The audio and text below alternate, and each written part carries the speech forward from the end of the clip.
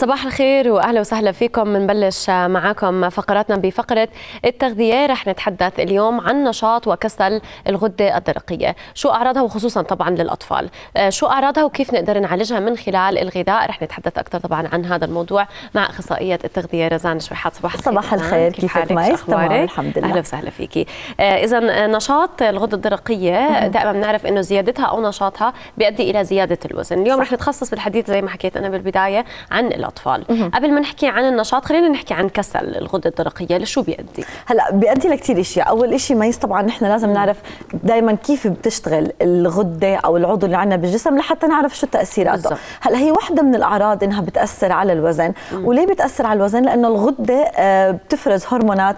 هدول الهرمونات بيأثروا على عملية الأيض أو الميتابوليزم اللي هي أصلا بتتحكم بصرفنا أو استهلاكنا للطاقة. صح. عشان هيك بنلاقي إنه أي خلل على الغدة الدرقية أي خلل بالهرمونات رح يأثر على زيادة الوزن أو رح يعمل آه تخفيف بالوزن. نعم. هلأ بدنا نحكي أكثر على أول شيء كسل قلتي أو خمول الغدة الدرقية. في عنا صورة رح توضح أكثر إيش اللي عم بيصير بالغدة الدرقية وإيش اللي بيتحكم فيها. نعم. يعني نحن دائما بنعرف إنه آه الغدة الدرقية في عنا الغدة النخامية اللي بالدماغ بتأثر كمان على عملها. نعم. فعنا في آه، عنا ثلاث هرمونات أو هرمونين تقريبا.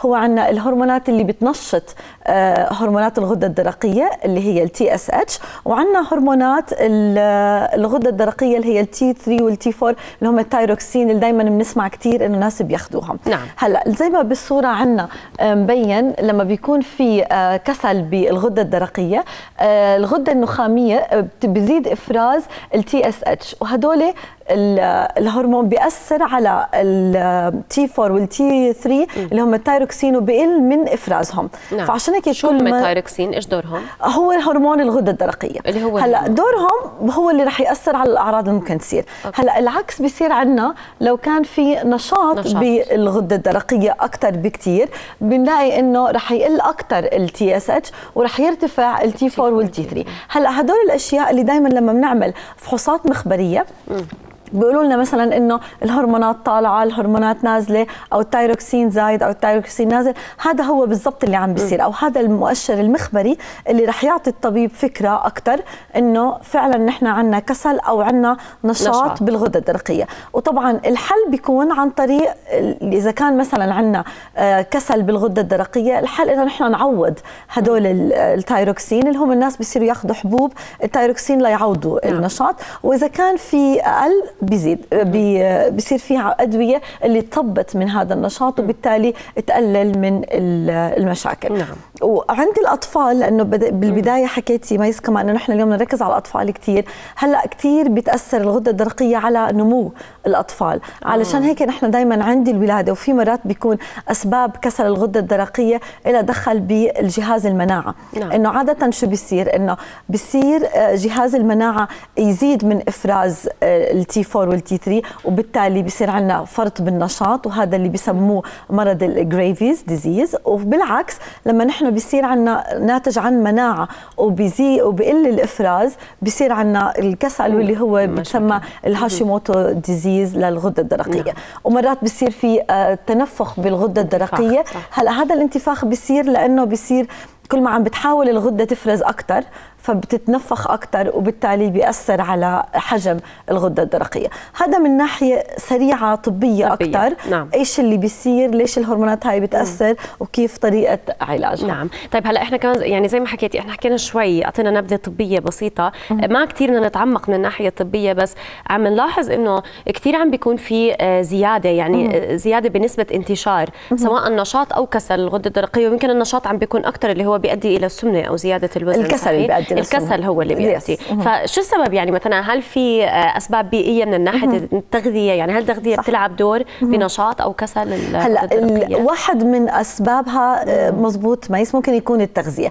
هلأ واحد من الأسباب اللي هو مثلا اليود آه، من ناحية التغذية نقص اليود بيؤدي للزيادة. علشان هيك هلأ إذا بتلاحظي صارت على مستوى الدول حتى كمان الملح عم بيكون فيه يود. صح. لأنه نقص اليود هو اللي أكثر شيء كان عم بيأثر إذا ما كان في مرض مناعة. طبعا على الغدة الدرقية وكسل الغدة الدرقية. فبالتالي بيزيد آه، كل ما أخذنا اليود بيأثر بيقلل من احتمال إنه نحن ننصاب فيها. عشان هيك عم بيصير موجود بالملح دائما لحتى يقلل بكل الدول من الانتشار أكثر هلأ بعض الأحيان بيقولوا إنه آه، من الولادة ممكن تكون لكنها ممكن تكون مؤقتة وممكن تروح. عشان هيك نحن دائما هلأ بفحصوا الأطفال دائما بياخذوا دم من كعب الإجر للطفل وبيفحصوا إذا كان عنده استعداد أو إذا كان في فرط اللي نقدر نعالجه لأنه ممكن بعدين يروح أو إذا ما تعالج ممكن إنه يزيد. نعم يعني ممكن ينتقل من الأم الحامل مثلا للطفل بيأثر يعني على الجنين؟ آه إذا ممكن مرات الأم الحامل تنصاب فيه وهي مش عارفة أو ممكن إنه ينتقل يكون هي عندها نقص بتغذيتها وبينتقل. وهذا بيؤدي لاكثر من شغلة بالجنين وهون نحن بنخاف أكثر آه ميس لأنه إذا انتقل للطفل أول شيء ممكن يخلق قبل بوقت ثاني شيء ممكن يأثر على نموه لأنه معروف إنه برضه هرمونات الغدة كثير بتأثر على نمو وتطور الطفل. ففي مثلا التقزم واحد من أسباب آه الخلل اللي ممكن يكون بنشاط الغدة الدرقية للأم وممكن ينتقل للطفل. نعم. فهون عم عم بيأثر أكثر على الأطفال عشان هيك إحنا كثير بنهتم بتغذية الأم الحامل كمان قبل وخلال وبعد لأنه ممكن برضه إنه ينتقل للطفل ويأثر عليه أكثر وزي ما قلنا بيأثر كثير على تطور ونمو وممكن يأثر على تطور الدماغ عشان هيك في في بعض الأحيان كان مثلا ينتج إعاقات آه، بالدماغ نتيجة آه، خلل بالغدة الدرقية. نعم. طيب هلا خلينا هيك نكون يعني بصورة واضحة مم. مش من ناحية طبية يمكن. مم. آه، شو هي أعراض كسل الغدة مم. وشو هي أعراض برضه نشاط الغدة؟ رح أحطهم جنب بعض. هلا في برضه عندنا الصورة رح تفرجي الفرق بينهم. إحنا الاكثر شيء متعارف عليه وزي ما حكيتي بالبداية ميس هو زيادة الوزن أو نعم. قلة الوزن. هلا زيادة الوزن أو قلة الوزن ليش أكثر شيء بتأثر؟ لأنه نحن قلنا إنه الغدة الدرقية كثير بتأثر على عملية الأيض. نعم. فبالتالي إذا بنلاحظ إنه صار في زيادة وزن كثير كبيرة طبعا زيادة وزن مش إنه شخص عم يتناول أكل كثير إنه هذا الشخص ما عم يتناول أكل بكمية كثير كبيرة بس عم بيزيد وزنه. يعني الحرق عنده مش كثير بالضبط. نتيجة خلل بهاي الهرمونات آه. فهون بيكون عندنا زيادة كثير بالوزن. والعكس بزيادة النشاط إنه بنلاقي بعض الأطفال الأم عم تشكي إنه عم بياكل كثير بياكل كثير بس ما عم بيزيد وزنه. وهون بنقيس الطول. أكثر كمان مم. حتى نشوف هل الطول بمعدل الوزن عم يتأثر. فالزيادة السريعة كثير بالوزن بتكون نتيجة إفراط أو فرط بنشاط الغدة الدرقية. برضه ممكن يكون في عندنا إمساك كثير شديد بحالة آه، كسل أو خمول الغدة الدرقية. تعب وإرهاق إنه دائما الطفل ممكن تحسه الام تعبان, تعبان ما عنده مج... ما عنده جلادة يتحرك. هاي الأشياء كمان كثير بتأثر. آه، جفاف البشرة والشعر كثير بيأثر إنه جفاف زيادة عن اللزوم عم بيصير في نشفان وتشقق أكثر حتى في بعض الأحيان بيكون في سقوط أكثر للشعر. لأنه كمان آه، هبوط الهرمونات بيأثر برضه على هرمون الزنك واللي هو بيأثر كثير على الشعر. بطء في الكلام الطفل بيكون مثلا كلامه بليد آه. آه. كثير قليل وما بيتحمل البرد يعني بتحسي بسرعة بيبرد. بتكوني انت قاعدة مع طفل انت مش بردانة بس هو عم يبرد كثير أو بيكون صوته خشن. لطفل ممكن يبدأ تحسي في خشونة بصوته هذا نتيجة برضه تغير بالهرمونات نعم. بالغدة الدرقية لأنه خاصة هي موجودة جنب الأحبال الصوتية محلها نعم. هلأ والعكس بيكون بفرط آه، الزيادة مثلا بتبدأ المعلمات عادة بحسوا على الأطفال إنه آه، نشاطه كثير زيادة عن اللزوم آه. وبعض الأحيان ممكن يتشخص غلط. ويفكروا إنه عنده فرط النشاط الحركي نعم. لكن هو ممكن يكون زيادة وطبعا بيكون برضه عنده صعوبة في التركيز لأنه آه. عنده نشاط كثير فرط برضه بدخول على الحمام يعني حركة م. الأمعاء بتكون كثير أسرع لأنه الجسم مش عم بيلحق عملية الأيض عم بتكون كثير أكبر وبرضه بيكون عكس الغدة الدرقية الكسل بيكون عندنا عدم تحمل الحر آه. هلأ هذا طبعا نتيجة ارتفاع الميتابوليزم لأنه كل ما ارتفعت عملية الأيض عملية الاحتراق عم بتصير أكثر بالجسم وبالتالي هذا الطفل بيصير عم عم بحس بالشوب أكثر أو بشوب أكثر نعم. فهون عكس بعض تماما الأعراض ودائما لازم إذا حسينا بهاي الأعراض ما ما نحن دائما نحكم لحالنا دائما نحن بنقول نرجع لطبيب والطبيب أكيد رح يرجع للفحوصات المخبرية الدرقيه اللي هي رح تجزم إنه فعلا نحن نعم. عنا أو ما عنا. نعم. طب هون إحنا شايفين إنه من أعراض فرط نشاط الغدة الدرقية اللي هو صعوبة بالتركيز. إذا بنحكي إحنا للأطفال. بيأثر يعني على التحصيل الدراسي للطفل؟ طبعا طبعا بيأثر كثير على التحصيل الدراسي للطفل لأنه بي بيأثر على نشاطه أكثر كمان. أها okay. طيب خلينا هلا إذا هيك نحكي عن العلاج من ناحية التغذية. أوكي. هلا من ناحية التغذية دائما نحن بنركز أول شيء باليود. إذا كان السبب هو نقص باليود فإحنا بنحاول نرجع نرجع الأغذية اللي فيها يود. أكثر زي مثلا الأسماك زي المأكولات البحرية هدول لأنه أكثر شيء بيكونوا غنيين باليود. وبنستعمل كمان الملح اللي بيكون فيه آه نسبة اليود أكثر هلا برضه في بعض من المعادن زي مثلا السيلينيوم رح أشرب شوية مي. صحة. طيب تعرفي قبل ما تحكي عن السيلينيوم كنا هذيك المرة بحوار عن موضوع اليود يعني عم نشوف إحنا أكثر دول العالم عم بصير في توجه إنه يكون مضاف للملح اليود لأنه إحنا الملح بطل فيه يود صح. ف يعني صار في توجه من قبل الأطباء يعني ومن الدراسات إنه انتبهوا لما بدكم تشتري ملح يكون في يود صح. لأنه الناس بتفكر إنه هي خلص لما تاكل ملح أو الملح دائما موجود بالطعام كثير بناكله بنستعمله موجود فيه يود لا هو. الملح ما بيكون فيه إلا إذا كان مضاف, مضاف. إلى اليود وبالتالي بيساعدنا أكثر نعم. هلأ بعض برضه من الأشياء الثانية غير اليود والملح مثلا والأغذية البحرية بنركز كثير على بعض المعادن منها مثلا السيلينيوم لأنه السيلينيوم من أول شيء المواد المضادة للأكسدة وهي شغلة كثير مهمة وكمان برضه بيساعد بزيادة نشاط أو إفراز الغدة هرمونات الغدة الدرقية وبالتالي وبيساعد بالتوازن كمان نعم. بين ال TSH وال T 3 وال T 4 السيلينيوم موجود مثلا بقشور الحبوب موجود بالأغذية البحرية كثير خاصة لها قشور زي مثلا ال crab أو هدول الأغذية البحرية أكثر أو الجمبري من الأشياء الغنيين كثير بالسيلينيوم وقشور الحبوب عشان هيك إحنا دائما كثير بنقول إنه ناخذ القمح كامل ناخذ آه. الحبوب كاملة حتى نستفيد من المعادن اللي نعم. فيها نعم.